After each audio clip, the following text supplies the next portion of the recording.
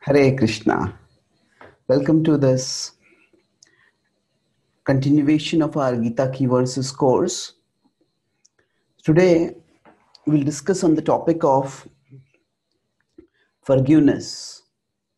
Now we are discuss as we are moving forward to the, through the Gita, we are discussing various subjects at different times based on the relevant verses in the Gita and our today's focus will be on broadly the theme of how can we forgive those who have hurt us. So this will be based on 1155 in the Bhagavad Gita. So 1155 in the Gita is karma krun mat paramo mat bhakta sanghavarjitah nirvairah sarvabhuteshu yah samameti pandava. So the key part over here is nirvairah sarvabhuteshu. That one who is never, uh, one who is not averse to anyone, such a person, and Krishna will attain, of course, Krishna says other things also. One who works for me, mat karma krun, mat paramo. One who is um, doing my work, and one who is non envious, having no aversion, no envy. So now, this particular verse, no aversion, is very significant, and that's what we'll try to discuss today. We'll discuss two things over here. Uh, one of the striking points is this the first point how can forgiveness and war go together? Then we'll discuss is the Gita a call for violence? And then how does the Gita, Gita wisdom help us forgive in intention, emotion, and action? So, there are two statements in the same chapter. We're discussing the 11th chapter now, and we discussed the universal form in the previous session. And the universal form is both the this 11th chapter entitled Universal Form is both the most visually graphic as well as the um, explicitly violence containing chapter. It describes how the universal form is devouring the various living beings. And yet, that very chapter, which had an explicit call for violence, Arjuna arise, fight, and attain victory. तस्मात् तमुत्तिष्ठयथो लशो लभस्व जित्वा शत्रुन्वंश्वराज्यं समृद्धं मयैवैते निहतः पूर्वमेव निमित्तमात्रं भव सव्यसाची So it says, Uttishta yasho labhasva. Arise, attain victory. Jitva, fight. Yudhyasva.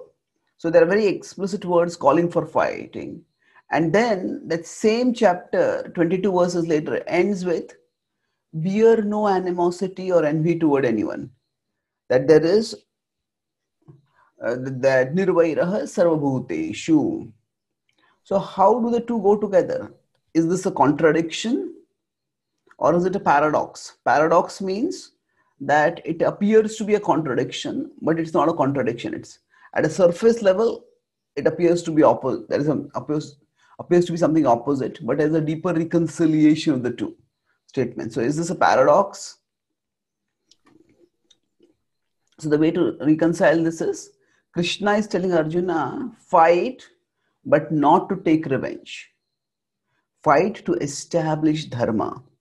So nirvairaha, when he's saying that don't don't have maintain aversion toward anyone. That means that Arjuna, you're not fighting to take revenge against the Kauravas for what they did to you, but to establish dharma in the world. And establish dharma, establishing dharma is the purpose for which Krishna has descended in the world. So now, just to elaborate the same point, it means that the fighting is not done to settle any personal scores, but he is to be an instrument for establishing dharma by disempowering and neutralizing the disorderly. So it's almost like a surgical operation. As we say, hate the sin, not the sinner. So sometimes if a body bodily part has become uh, severely diseased, then it has to be amputated. And that amputation is not done with any hatred toward anyone. It is done as a clinical duty. So Krishna is telling in that consciousness fight. So this is how Bhagavad is calling here for not maintaining any aversion, which is actually meaning that we don't hold negative emotions, we forgive. So, how can the two go together? So, if at one level the Gita is calling for non aversion toward anyone, then why does it call for violence? Why does it call for war? So, then this will be the second part we'll discuss. Is the Gita a call for violence? This is one of the most disturbing things for many people when they study the Gita that that okay, it is spoken on the war field and it got a peace peace seeking person uh, to fight a war. So that is true. That but is the Gita itself a book that calls for violence as a universal spiritual message for everyone? So to check this out, let's look at three things.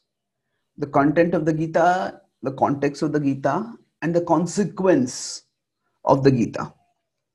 The content of the Gita is that it doesn't contain any hate speech. There's no reminder of atrocities. There are no calls for revenge.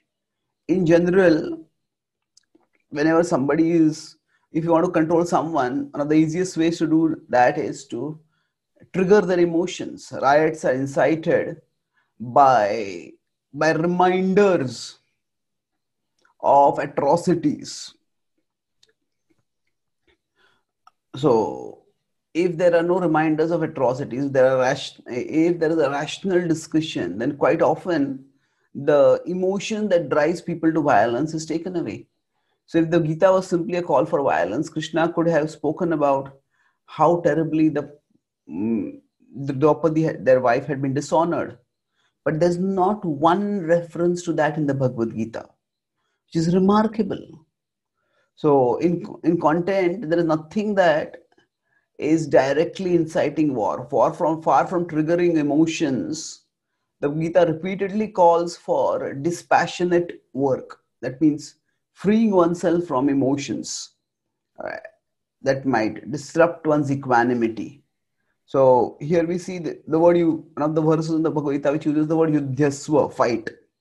Karmani sanyasyaadhyatma chetasa nirashi nirmamo bhutva yudhyasva vigata jvaraha.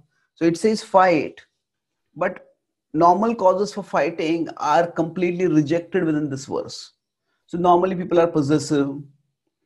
I want more and more power, more and more property, more and more land, or ego you know, I am I am more powerful than this other person. Or of course, there is some other variant of material consciousness like vengefulness. But Krishna says in this particular verse, nirmamo, that means have no possessiveness, nirahankaraha, have no ego, and adhyatma chetasa, has spiritual consciousness. So this is not at all a call for fighting in the normal sense then why is it fight? Why is it fighting at all? So it is fighting because if you look at the context, there was no alternative. That every effort was made, human and divine, to prevent the war. What do we mean, human and divine? Krishna himself was God, and he also strove for peace. So, the Pand- if you look at further the context, the Pandavas were wrong repeatedly, yet they sought peace. That is, they who sent peace messengers, and was not just an ordinary peace messenger. Krishna himself went as a peace envoy. And then, even in their peace proposal, instead of demanding their rightful half of the kingdom, they were ready to settle for just five villages. So, this is the extent to which they were ready for even a symbolic reconciliation, not even a just reconciliation. But even that was rejected by Duryodhana. So now, if you look at the long term consequence, okay, the immediate consequence was that Arjuna fought a war. but the Gita has, uh, has been a book that has influenced millions for more than a millennia, for many millennia. And there are many commentators who have commented on the Gita. Mm, several hundreds of commentators in Sanskrit and many, many in English. So now, tradition, none of the more prominent traditional commentators on the Gita have used the Gita to justify violence have said that the Gita's, Gita calls people, calls its readers, or they didn't say that their followers should resort to violence. Although, if you consider there was a, there was reason for that. There were yeah, at the time of most of the prominent commentators on the Gita, Madhvacharya, Ramanujacharya, Vishwanath Thakur, India was ruled by invaders who were quite um, who were quite violent and plundering and destroying the spiritual culture of India. But the commentators didn't use didn't use the Gita to justify violence against them, and they didn't say that the Gita's message is that you should fight. So, what is the point over here? The Gita's essential message is neither of silence nor of violence. It is transcendence. That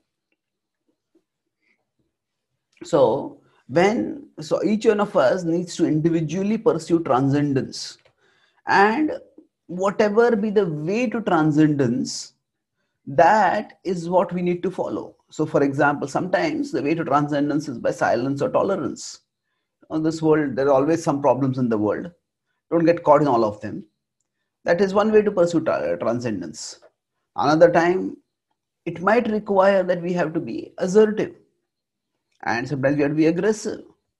But the point of the Gita is neither silence nor violence. The point of the Gita is to pursue transcendence. That's its essential message. And that is what has inspired millions of people who have studied the Bhagavad Gita throughout history, and even the many, many who are inspired by the Gita study now. So, now why the battlefield setting? Because it demonstrates how transcendence can be pursued even in the most unlikeliest of settings. That is, a battlefield. So now with this, now let's move on to understand how so the first two parts were preliminary, just a take-off point for our core discussion today. That how do we reconcile uh, or how can we actually go about forgiving those who have hurt us? And when should we forgive? When should we not forgive? Is forgiving uh, is forgiving helpful or is it can it be harmful if the other person continues to exploit and abuse us so that's what we will discuss today and for that we'll first understand what is the point of forgiveness. For, sometimes we feel the other person is not seeking forgiveness the other person doesn't for, deserve forgiveness.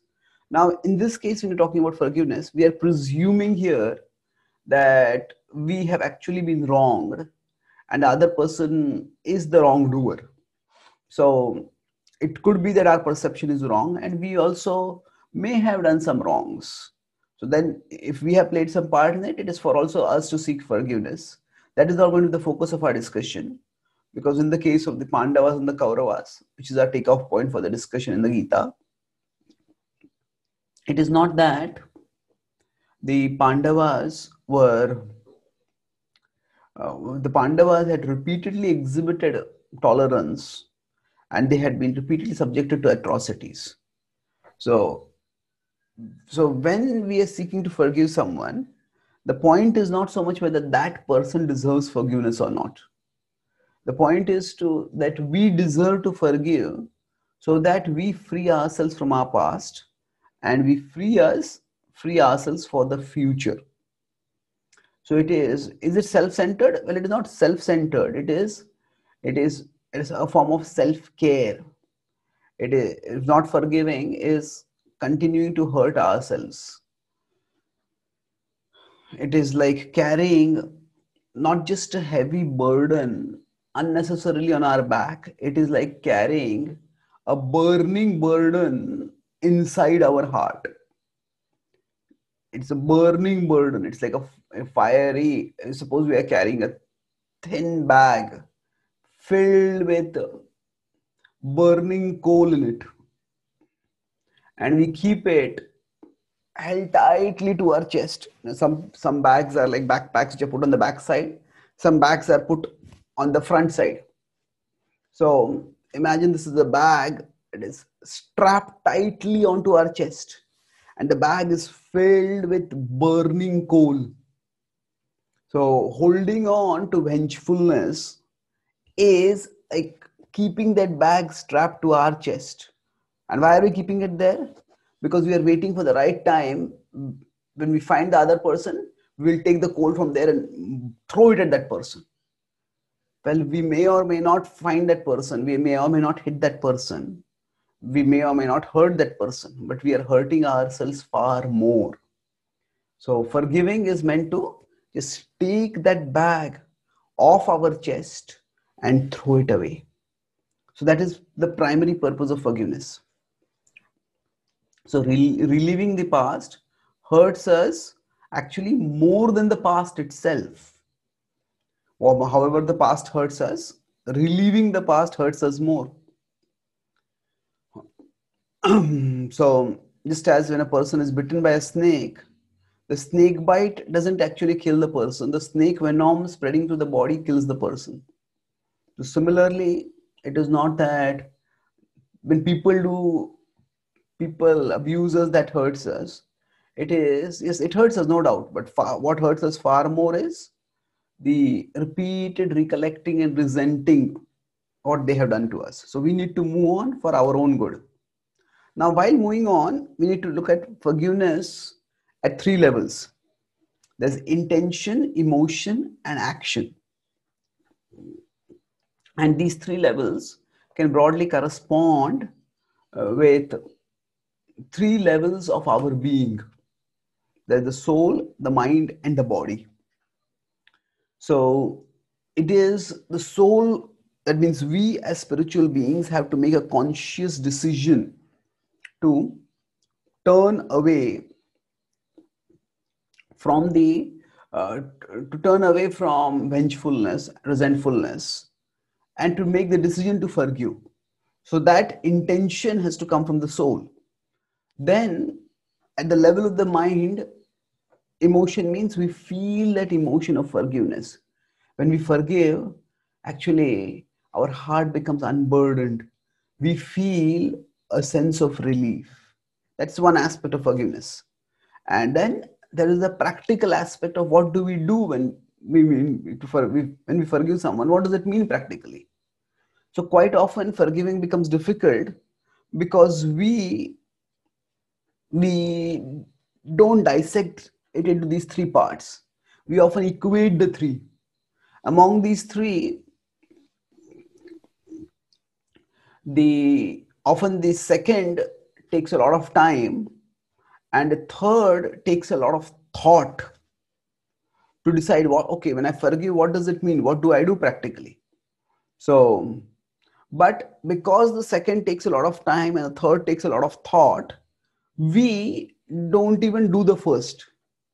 The first is first is that means to feel the emotion of forgiveness and the resulting healing from that takes time. And to decide to figure out, okay, if I forgive this person, how, how do I go ahead after that? Do I just let this person go scot free? Do I hold them accountable in some way? do I distance myself from them? What do I do exactly when I forgive? So that action has to require thought. So because of this needing time and thought for the emotional and uh, practical aspects of forgiveness, we don't even make the resolve to forgive. That intention itself doesn't come. But things have to begin with the intention. So now what do we mean by intention? I've already talked about this earlier. That for not forgiving hurts us the heaviest thing to hold is a grudge. That it burdens us. It doesn't just burden us, like the example of coal I gave, it burdens and burns us. So when we refuse to forgive someone, we give them rent free space in our heart.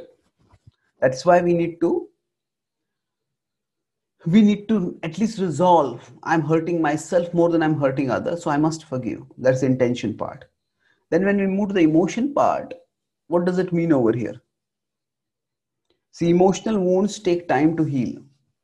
all that we can do is we don't aggravate them just like if some if we were involved in a physical altercation with someone if somebody attacked us physically and say we had a fracture to a particular maybe a arm or a leg now that fracture is going to take its time to heal it's even if that person comes and apologizes and we forgive that doesn't mean the fra- fracture is going to be uh, going to immediately and magically heal itself. No. If there's a physical wound it takes time to heal. And the same principle applies to emotional wounds also. Emotional wounds also take time to heal. So therefore we need to be patient with ourselves. We can't expect that okay i have decided to forgive so automatically i'll start feeling like feeling relief, feeling the sense of relief or release or healing. It will take time. But what we also do, say if we have a fracture, we have a physical wound like that, we don't aggravate the wound. Say if, if our forearm is fractured, we won't deliberately bang the forehand again and again on our arm. In fact, we will move it very cautiously. So physical wounds will never aggra- aggravate, but unfortunately, emotional wounds we often aggravate by replaying them again and again and again and again. So, replaying those uh, incidents where we were hurt is like physically hurting ourselves at the very point where we have been hurt. And that's why the wounds may, emotional wounds may take far longer to heal than physical wounds. So it is replaying again and again that aggravates. That's, that's what we need to try to avoid. So now spirituality can give us a higher vision, a higher purpose, and that's what the Gita tries to offer all of us. So now we need to understand that we have horizontal relationship with each other. We have discussed this theme earlier, and we have a vertical relationship with Krishna. So we need to focus on the vertical relationship by which we get strength. So this was also it begins 1155 begins with focus on the vertical relationship. Mat karma krun mat paramo that work for me make me your goal. So if if any relationship has become our defining relationship has become our source of our sole source of self-worth and self-identity then disruption in that relationship will be unbearable. Why? Because that's how it is that we have no that relationship is is only going to define who we are. And if there is rejection in that relationship if there is exploitation in that relationship then it warps and distorts and uh, diminishes our very sense of selfhood, of our sense of self, our sense of self-esteem, self-worth. So that's why, yes, we have various relationships, and how we interact in those relationships does affect how we are perceived by others, how we perceive ourselves. But those relationships cannot be the basis of our self-worth. We need to know that whatever happens, whatever anyone does to us, we are still precious parts of Krishna we are loved by Krishna so much that each one of us is still uh, an abode for the divine. Krishna is still, pres- still present with us in our hearts. When we understand this, then we feel inspired to, okay, that is my primary relationship. And my primary purpose is to develop that relationship, nourish and enrich that relationship. And then how do I deal with this relationship while nourishing that relationship? So we get the emotional stability by strengthening by by making our relationship with krishna our primary source of strength. There are many many books that talk about forgiveness and there are many seminars in the self-help world nowadays. Forgiveness is a big subject and forgiveness is also an area where science and spirituality are strongly intersecting because this because among the various areas uh, where scientific evidence is available for the for the for the healing effects of a particular thing forgiving is the strongest. Say for example if somebody does meditation and does it benefit people? Yes it does. There, there is data for that. Uh, and like that there are many other many other things which we could say are associated with spirituality and they provide benefit. But of the strongest evidences is available for forgiveness. Lots of research which shows that we should forgive.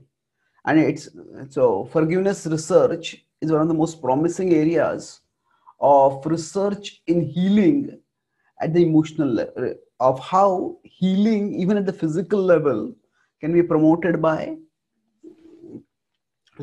by, by some emotional by, by by some activity which is also associated spirituality that is forgiving. So now science can tell us how beneficial it is to forgive but often it can't really provide us the means to forgive. And even if they say okay forget that thing and some people may say okay you know you take that person who has just bring some closure in some way so take that person's picture who has hurt you tear it and throw it into the flush. Well and just similarly take that as a metaphor for flushing that person out of your life. Well okay some people may feel that it helps them but you know unless there is a higher vision and a higher purpose and most importantly higher relationship it's difficult to apply these principles of forgiveness. So so once we connect with krishna through our bhakti practices we get the emotional strength by which we can better manage the turbulent emotions that might come because of turbulence in our other relationships. So so then we are better positioned to forgive. So intention is something which we need to have and that intention will begin the process of emotional healing but the, the, but this feeling of relief that we get when we forgive someone that may not come easily or immediately. And we need to be patient with ourselves. Even after we make the intention may make the resolve to forgive someone still when we see that person we might still feel annoyed we might still feel angered. And we need to be patient. But we need to also redirect our thoughts and emotions elsewhere so that we don't dwell on that too much. So how do we deal with them at the practical level this is often as i said this requires a lot of thought to understand. So the first thing here to understand is that forgiving is not the same as trusting. The two are very different. And what is the primary difference? Forgiving is for the few for the past wrongs that they have done whereas trusting is for the future. Forgiveness can and should be uh, should always be given but trust has to be earned so, so at a simple level if we consider say we lend somebody some money and they just lost it and now they say oh i don't have it. I can't return it. And say now money is important for us. And especially that money was something which we really needed. And we are in a lot of trouble because they're not able to give that money back to us when we need it. Then we may still we may decide okay i'll forgive you. But we would be naive and foolish to again give them money if they ask it again. So they have to show some responsibility. They have to show some indication that they're ready to reform. They have to earn trust. So we forgive for the past, but we don't forgiving when we equal it with trusting. Not only does forgiving seem seem difficult, it also becomes dangerous because then we set ourselves up for further abuse or exploitation. So, based on this differentiation between forgiving and trusting, there, were, there can be three ways of doing the action of forgiving. We forgive, first is we forgive, but we withhold trust. Second is we forgive and trust. Third is we forgive in intention, but then we pursue some kind of disciplinary action, some kind of punishment in action. So let's look at this. We'll begin with the second and then go to the first because the second is the normal stage where we can be once we make the intention to forgive. And then we will, depending on that person's response, we may move from forgiving but not trusting. We can either move to forgive and trust or the other option. So let's look at some examples. So I'll talk about incidents from our epics and then we'll look at it from something from our practical lives also. So this is the story of the appearance of Krishna. Kamsa killed brutally six of the previous children of Devaki and he killed them brutally right in front of the eyes of the parents. It was horrendous. It was, and he not only killed the babies, he killed them in front of the parents, but he killed in front of the parents also in a brutal way. It was not even a painless death. It was just he took the baby and smashed the baby's head against a stone right in front of the parents. So he had done horrendous things. And when the eighth child was born, at that time, what did he do? He wanted to do the same thing. But that eighth child turned out to be a girl, and that girl was especially slippery. She slipped out of his hands. And she didn't fall, she rose high into the sky. And she mocked him. She said, You fool. He turned out to be the goddess. And in fact, this goddess was the very goddess whom Kamsa would worship. In the Vedic times, even the demoniac people would do acts of worship. Uh, why? Because for them, worship was not a religious activity, worship was a power seeking activity. So, having Brahmin priests who would help them do worship, that was more or less like a activity by which they sought power. So, many of the priests in the Vedic times were less what we would call as religionists today and more like technologists. They were like just as every country, whether it is on the side of good or on the side bad, will have its own scientists and technologists who help it develop weapons. So similarly, Kamsa also had his Brahmin priests and he used to do according to their direction worship by which he hoped to gain power. So the point is that he worshipped the goddess and he thought oh if this goddess whom i worship has appeared from the womb of devaki that means devaki must be a special lady. And then he started thinking oh if devaki is such a special lady i did a great wrong by by killing her children and then he sought forgiveness from the uh, from Devaki and Vasudeva, and he told them that actually, uh, you know, how heartless have I been that I kill your own your children who are my cousins, or my nephews rather. And he lamented. He, he sought forgiveness. And it's interesting that the Bhagavatam says that the Pan, that Vasudeva and Devaki forgave him. But at the same time, they didn't trust him. How do we know that they didn't trust him? They didn't tell him. Actually, you know, the eighth child is in, is in Vrindavan. We took him yesterday night and we kept him in Vrindavan. No, they couldn't tell him because he had yet to earn trust. He was acting in a devious way. He had acted in a vicious way for so many times in the past. And whether his present forgiveness was genuine or not they couldn't be sure. So in principle they they forgave over here but in action they withheld trust. And of course kamsa showed that he had he was not trustworthy because soon he changes his position. And he went on a rampage seeking to kill all newborn children in the vicinity and he attempted to kill krishna repeatedly and eventually he had to be neutralized by krishna but at least at this point, when he sought forgiveness, the uh, the was the parents of Krishna also Dev and Devaki did give him forgiveness. But our thrust here is how to understand that we may forgive but withhold trust. So what how how would this go about practically? That means that different relationships work well at different distances. So if somebody has hurt us, then we may not be able to have the same emotional proximity in the relationship. We may have to keep some emotional distance. Or we might sometimes have to even keep some physical distance. It's like going back to the earlier example of the wound that if, say, the hand has been injured, then normally the doctors might recommend if it's a fracture, keep it in a cast so that it doesn't move too much. So there has to be a certain phase of immobility and activity by which healing takes place. So, similarly, we might need to create some physical distance or at least some emotional distance so that we observe them from that safe distance and see how they are acting.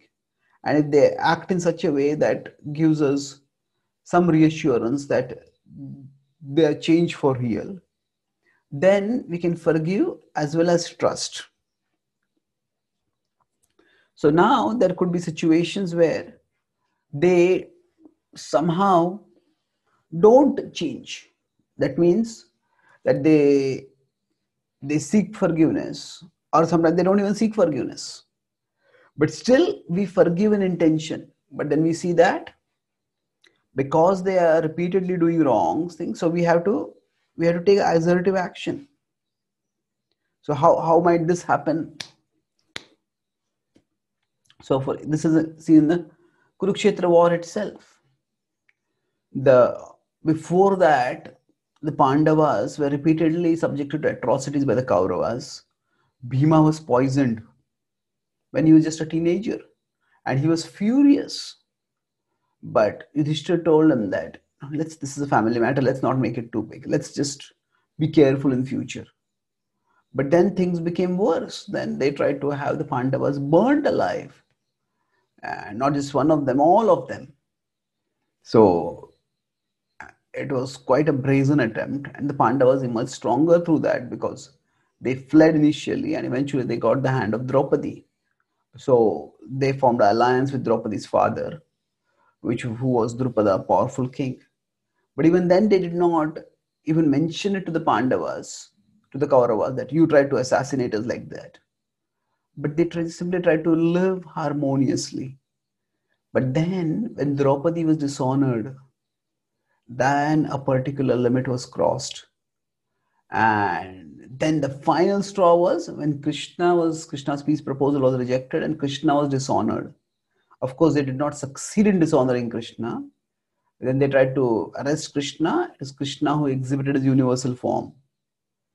And then Krishna baffled all their attempts thereby. But the point here is that the Pandavas are being told by Krishna over here that Nirvairaha Sarvabhuteshu, that have no aversion, have no envy toward anyone. Why is that?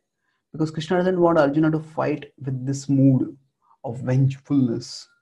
So now he's forgiving in intention, but he may punish in action. Now, punish in action can mean what? It can mean, for example, that uh, sometimes that person has to take the law in their own hands because they are the law keepers.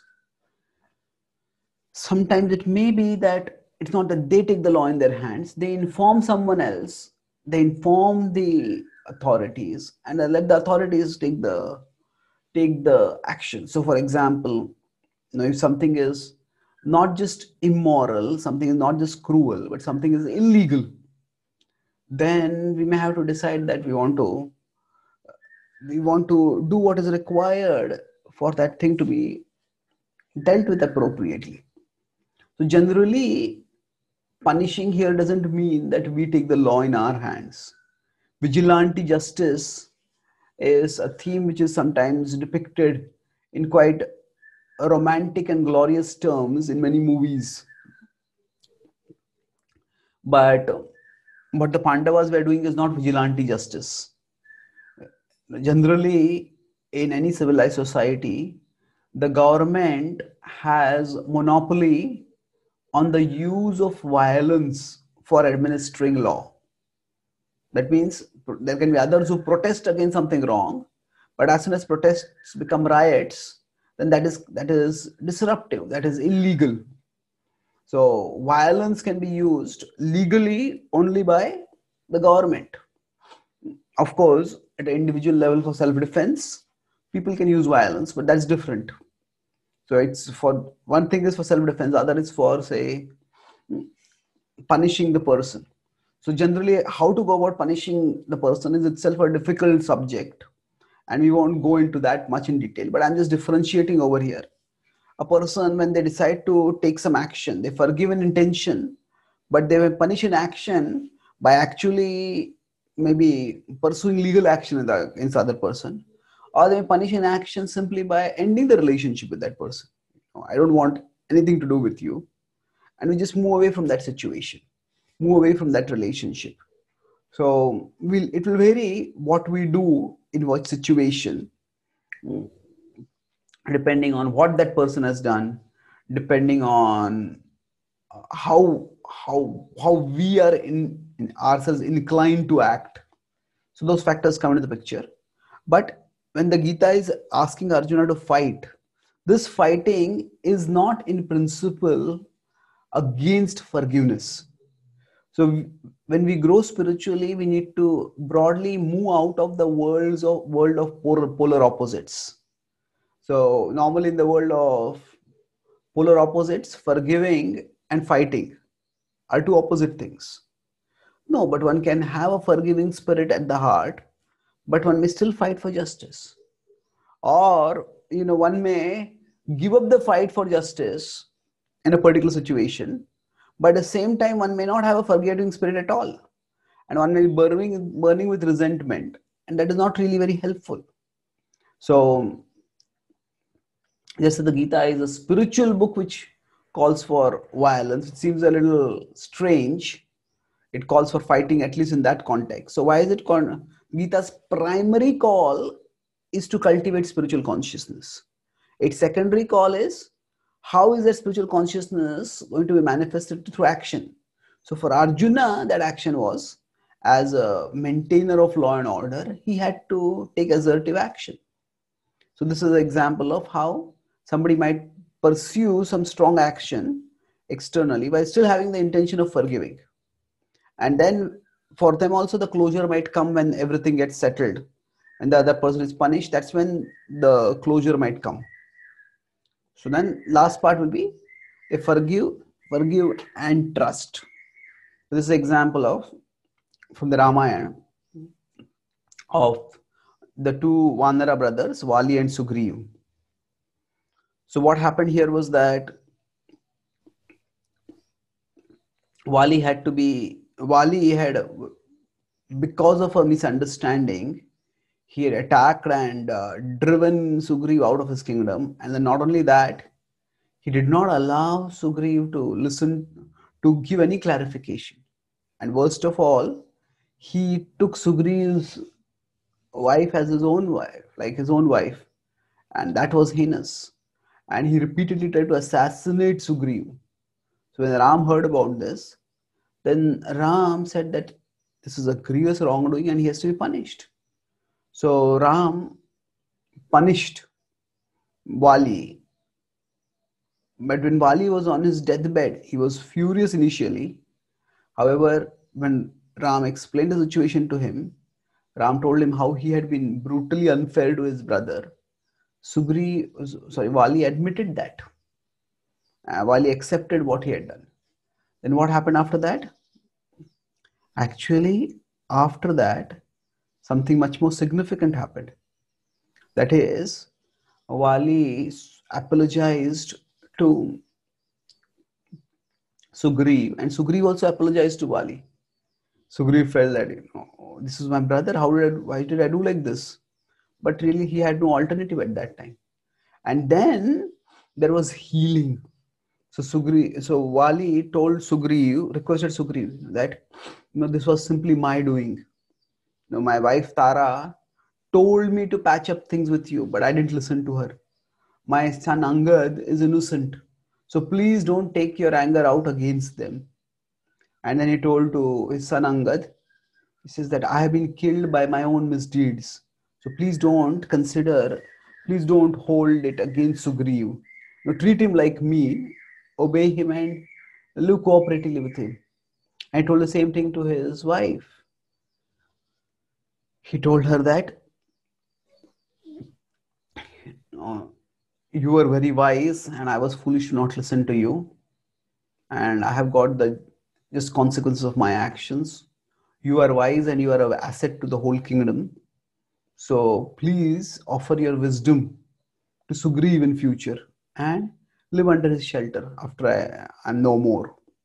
And then he had a special ne- necklace which had been given to him by by the god Indra, and that necklace had a special feature that whoever would be wearing that necklace, that person would uh, would not die. So he was in pain because of being shot by the arrow of Ram, but he was still holding on to his life. Now, naturally, such a precious gift a father may want to give to his son. But here, Vali gave it to Sugriv. Through it, he showed that you know that I'm really serious about seeking forgiveness. And then, when he did that, uh, Sugriv accepted that. And then, before he died, the whole wound was healed. There was reconciliation. And then, Sugriv personally uh, performed the last rites of his brother. So this is also it's a serious grave story. It's not like a simple sweet reconciliation after which they lived happily ever after. Because the, the, the wrongdoing was very serious. But still the point was that at least by Vali's actions and by Sugriv's actions, the there was no saga of vengefulness, there was no saga of vendetta, wars at least the healing happened over there. So this is more this is this incident can also be seen another way that no, that how do we go about healing ourselves after the war? If we are wrong how do we go about seeking forgiveness? So it's not just about giving forgiveness. It is also about seeking forgiveness also we can learn from here. So overall the principle over here to understand is that sometimes the other person genuinely reforms and when they reform then there's nothing there's no reason to hold the past against them constantly. And there are many incidents like this in the scripture where you know people who done something terribly wrong but once they reform then then nobody mentions that past against them past ever about it about with them so this is forgiving and trusting. And then the key principle again, to go back to the first, first point is that not forgiving hurts us more than it hurts anyone else. And forgiving, it heals us first and foremost. And then, of course, it can heal others also. So, our spirituality can help us in this healing by reminding us that no matter how much people hurt us, greater than the world's power to hurt is Krishna's power to heal. That's why this is not just a mechanical or an emotional process, it's a spiritual process forgiving and the resulting hearing there, healing thereby. And the Gita's wisdom stands ready to help all of us find that healing. So I'll summarize. I spoke today on the topic of forgiving and broadly we discussed how can war and forgiving go together? The gita calls for fighting but the gita also calls for freedom from all the normal motivations for fighting. Vengefulness possessiveness arrogance and it talks about cultivating spiritual consciousness. So is the gita itself a call for violence? No. Look at the content. There's no hate speech no call for revenge no reminder even of the atrocities. There is, you look at the context, the Pandavas tried every possible way to settle things peacefully. We look at the consequences. The Acharyas who commented on the Gita haven't used it to call upon their followers to fight against invaders. That's not what they've written in their commentaries. And then we look at uh, how to go about forgiving. So, forgiving, we talk about three aspects intention, emotion, and action. In terms of intention, I talked about how forgiving is a form of self care, irrespective of whether the other person deserves it or not. It frees us from carrying a, a big burden of burning coal on our own chest, which burns us continuously. So we need to always have that intention to forgive so that we can free ourselves from the past and free ourselves for the future. So now, in terms of emotion, it takes time because it's a wound, and every wound will require its own time to heal. What, what we can do is not aggravate it by replaying it and letting it fester thereby. letting it multiply and fester. So, in terms of action, we to be able to act, we need to first understand that forgiving and trusting are two different things, and then we choose appropriately. We may initially forgive but not trust, as Vasudeva did with Kamsa, and then depending on the trustworthiness of that person, we move forward. Uh, if that person shows genuine signs of change, then there is a reconciliation, then there is harmony, so if there is no change of no sign of change, then one has to take disciplinary action, as the Pandavas did with the Kauravas. And another example we discuss as the example of reconciliation, uh, at least the prevention of ongoing conflicts. We saw how Sugriva and Vali patched with each other. Another example from the Ramayana could also be how Kaikeyi did something terribly wrong to banish the Ram, but eventually when she came back to her senses, Bharat didn't hold it against her, and Ram specifically forgave her and told Bharat and the visiting citizens to forgive her. So that's also an example. And when we want to forgive, it's we need to get the emotional strength from turning toward Krishna and stabilizing ourselves in our vertical relationship. And then when we then no matter how much the world has hurt us, we will experience that greater than the world's power to hurt is Krishna's power to heal. Thank you very much. Hare Krishna.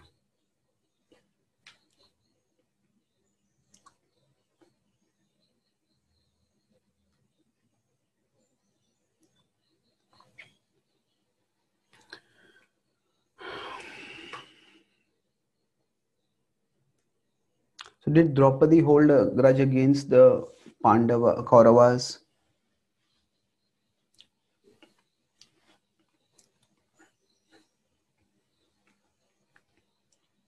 Um, if we are surrounded by people who are the reason for our distress, then these are two, two, three different questions. Let me take them one at a time. So, Draupadi certainly was furious, and she was and at that time, the Kauravas also took uh, vows to uh, to to to punish those who had done wrong. So yes, they are they are warriors, and when they are dishonored, they all felt furious about it. And as I said, they also took vows. So now, the key thing was they were ready to settle for peace. They were ready to let the past go. Was it easy for them? No. Now, that's what actually makes it even more laudable.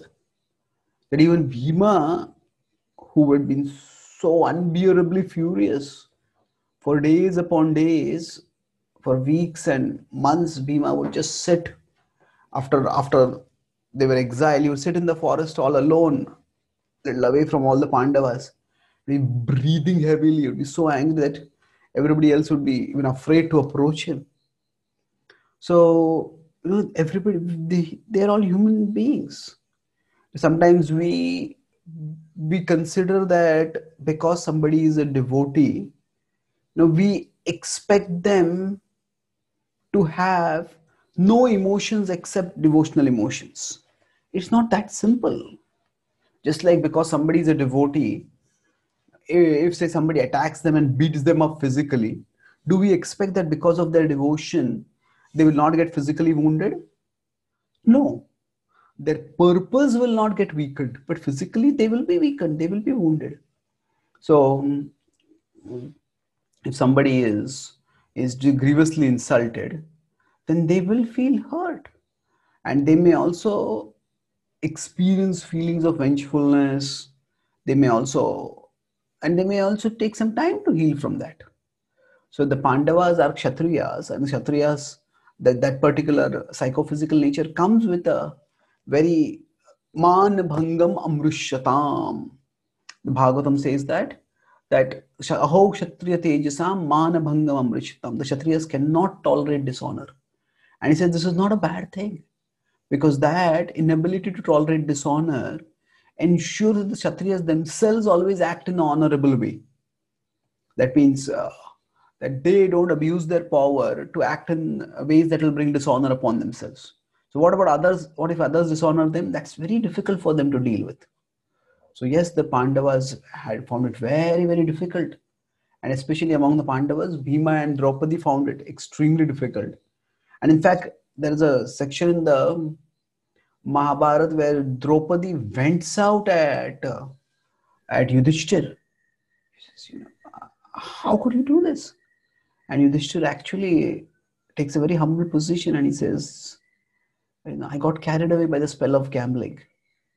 So it's not that when we are talking about this, it's not that forgiveness is easy and that forgiveness will come naturally the test that the Pandavas were ready to forgive was that they were ready to settle for the settle for a peaceful resolution, even on the more even on terms that deprived them. But it was not to be. So, as I said, if we're surrounded by the people who distress us, then we have to create some kind of uh, distance, emotional distance, if not physical distance. Generally, what happens is that um, how how frequently do we, even if we are surrounded by people, how often do we interact with them? You know, they can have their jurisdiction of doing things. We can have their area of doing things, and we minimize interactions if there are some kind of irreconcilable differences, if there are hurts which are taking take a long time to heal and then even if we talk with them we keep the talks basically functional and we move on with our lives. So generally having some other relationship which also strengthen us mm,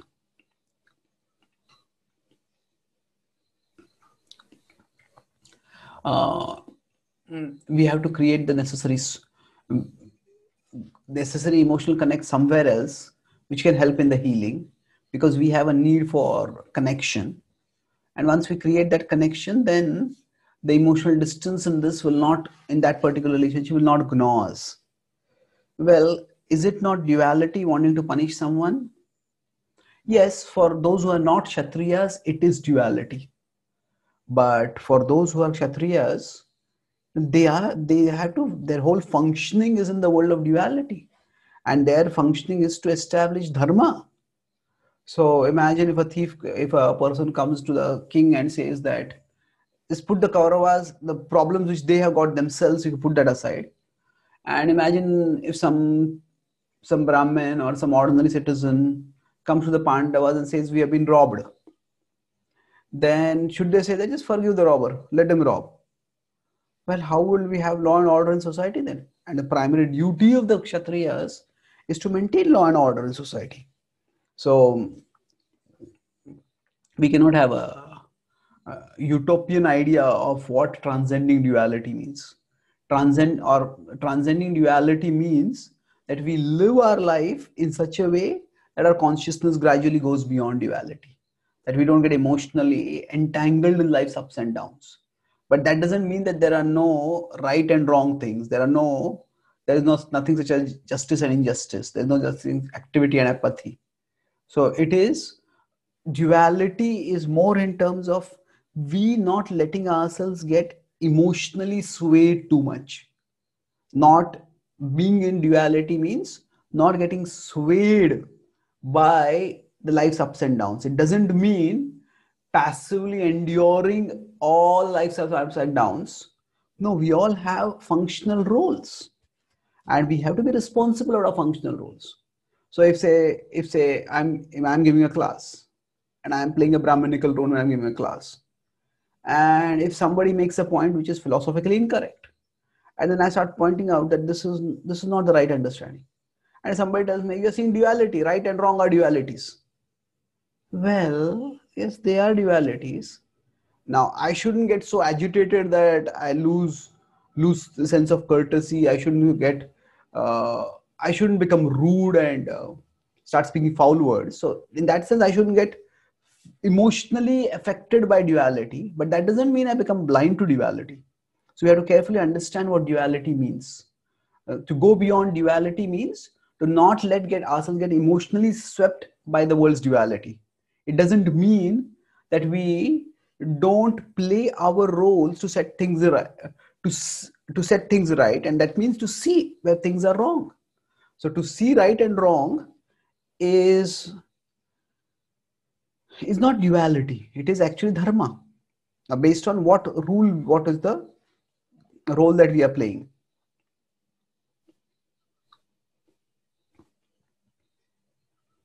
How can we know if we have forgiven someone? Um, well, two, three things. The most important thing would be that we won't feel agitated or insecure or fearful when we are with them. We'll be able to move on with our lives. We won't get carried away by what is happening. We won't be overwhelmed by what is happening by just their presence. Mm, so it happens uh, if you're not forgiven, then there is a lot of lot of turbulence, lot of agitation that goes on internally. So that is the basic symptom, I would say. Apart from that, overall, how do we know whether we have healed from a wound? Well, we, when we exercise that particular limb, if our hand had been fractured, we can exercise it without, without much pain. Or at least the pain is decreasing gradually till it disappears. So generally, if we have, if there is absolutely zero forgiveness, then not only does the thought of that person agitate, but the thought itself doesn't leave our mind. And that's why we are constantly agitated. But then gradually we are able to put that thought out of our mind and do other things. And then even if the recollection comes we are able to push it aside. And what to speak of recollection? Then even if there is direct interaction then also it doesn't agitate us. So i would say that is not being agitated while interacting with them that would be the sign that we've forgiven them fully. And we don't have to be utopian or unrealistic with ourselves thinking that that will happen immediately. We have to we have to do the needful to first of all protect ourselves and then secondly do other things. So what are the practical things that we could do to forgive? Well first thing is redirect.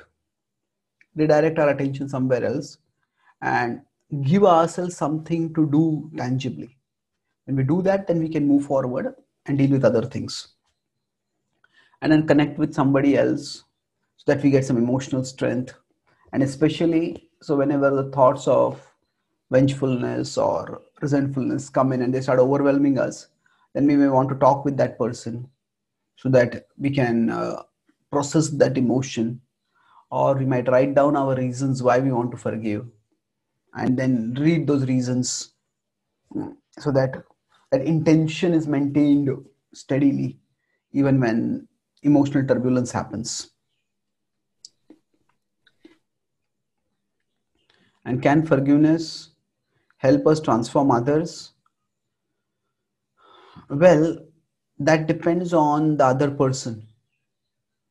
We just as Krishna himself could not transform the Duryodhan because Duryodhan was um, was evil.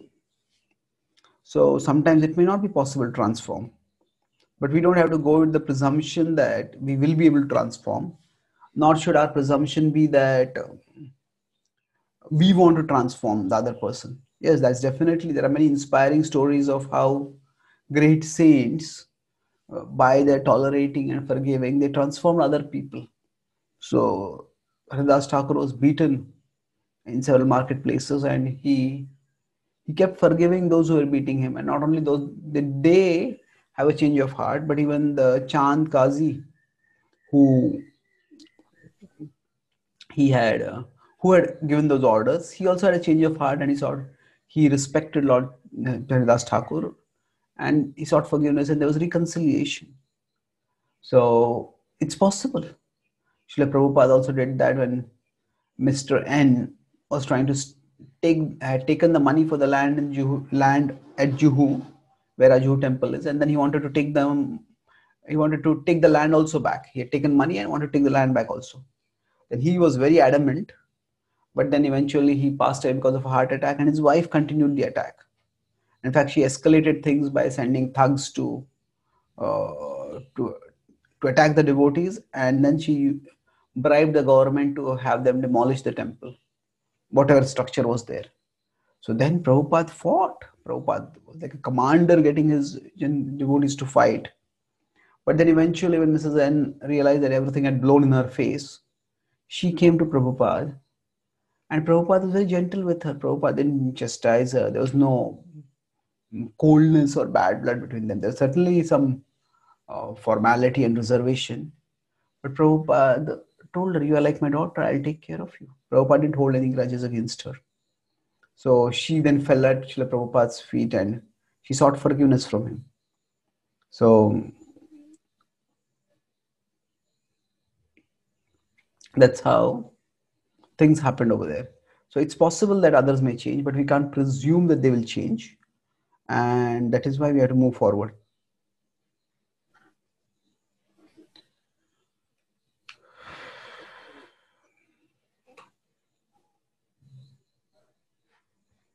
What is the difference between the Kshatriya and a devotee? No, devotees have their own natures, and depending on the natures, they act. So, Haridas Thakur was not a Kshatriya. Haridas Thakur was, was, was a saint and he was playing the role of a Brahmana. So, forgiveness in terms of action, you know, that forgive and forget and move on with life that is an individual virtue that every person needs to cultivate. Every one of us needs to have a more forgiving attitude. However, forgiving cannot be a default state policy. Forgiving cannot be a default state policy. It is not that the police, they say that, okay, anybody who does anything wrong, you know, we apprehend them and then we release them. We forgive them. No. So if somebody is taking a role in society to uh, to administer certain things, then they are taking a kshatriya role.